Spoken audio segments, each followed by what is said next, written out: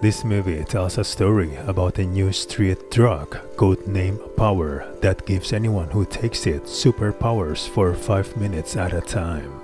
These powers offer average people the chance to briefly become superhuman, creating the possibility of a city overrun with rogue superpowered citizens. A New Orleans cop, Frank, played by Joseph Gordon-Levitt, forms a connection with street-level dealer Robin, played by Dominique Fishback, in his efforts to track the manufacture and distribution of the drug.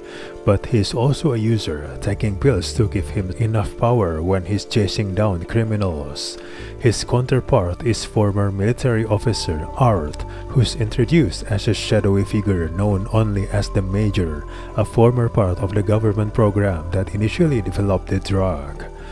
First of all, this movie is a rote and boring action picture.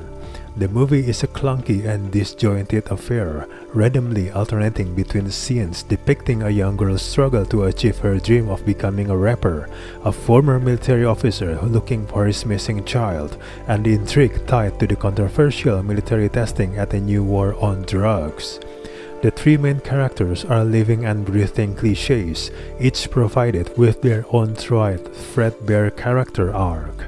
The movie even introduced a whole new set of characters 10 minutes before the end of the movie, as if there were other versions of the script with story arcs that ultimately got scrapped but didn't get entirely cut out. It's hard to connect to any of this nonsense because the action scenes are so bland and the story feels so phoned in.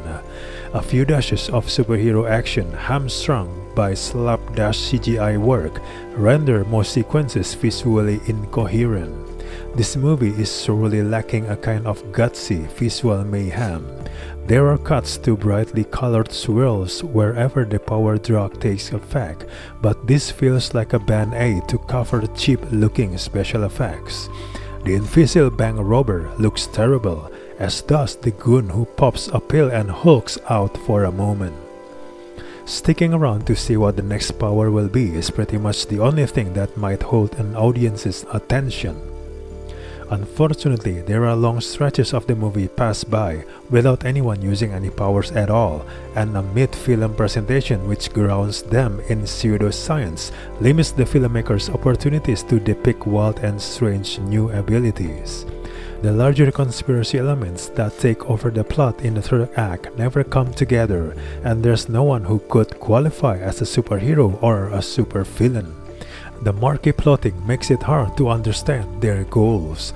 This movie is simply too weighed down by abundance of narrative threads and abrupt tonal changes.